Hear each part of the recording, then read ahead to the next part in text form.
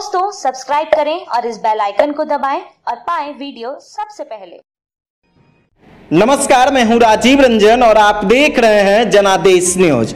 श्रावण का महीना भगवान शंकर की विशेष पूजा अर्चना का विशेष महीना माना जाता है।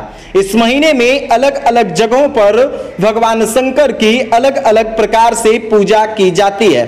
इसी कड़ी में नालंदा जिला मुख्यालय बिहार शरीफ के प्रखंड क्षेत्र अंतर्गत तिवरी गाँव में अखंड कीर्तन के आयोजन के पूर्व आज गाँव की दो सौ इक्यावन महिलाओं ने नदी से कलश में जल भरकर गाँव का परिक्रमा किया। आप तस्वीर के माध्यम से देख सकते हैं कि किस तरह से गाँव में दो सौ इक्यावन महिलाएँ अपने माथे पर कलश लेकर गाजेबाजी के साथ भक्ति के रस में सराबोर होकर जयकारा लगाते हुए भगवान शंकर के मंदिर में परिक्रमा करने के बाद पूरे गाँव में परिक्रमा की है। दरअसल हम आपको बताते चले कि बिहार शरीफ प्रखंड क्षेत्र अंतर्गत तिवरी गाँव में कल से 24 घंटे का अखंड कीर्तन का आयोजन होगा, जिसके पूर्व गाँव की दो सौ इक्यावन महिलाएँ अपने सर पर कलश लेकर गाँव के ही समीप नदी से कलश में जल भरकर गाँव की परिक्रमा की।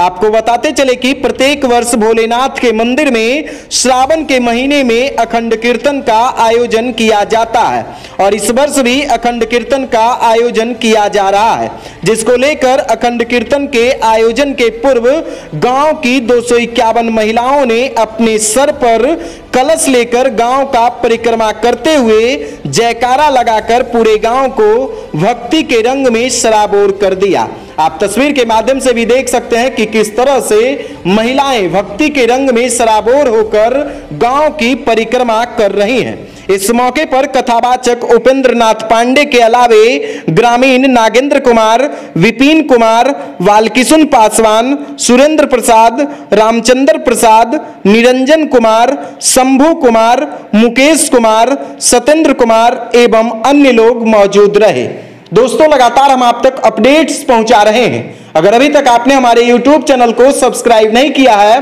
तो जल्द से सब्सक्राइब कर लीजिए और पाइए बिहार की तमाम छोटी बड़ी खबरें। अगर वीडियो फेसबुक पेज के माध्यम से देख रहे हैं तो पेज को भी फॉलो कीजिए। धन्यवाद। दोस्तों सब्सक्राइब करें और इस बेल आइकन को दबाएँ और पाएँ वीडियो सबसे पहले।